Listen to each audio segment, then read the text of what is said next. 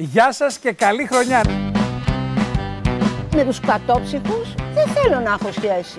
Δεν μπορώ να έχω τοξικούς ανθρώπους. Πες μου τι, πες μου τι, τι περίμενες Έμαθες μου λέει πως τελειώνει ο ρόλος μου. Πραγματικά στεναχωρήθηκα. Τα βρήκα όλα. Όχι. You want me, I want you baby Βέβαια το παιδί δεν μπορεί να λειτουργήσει με την ομορφιά μου.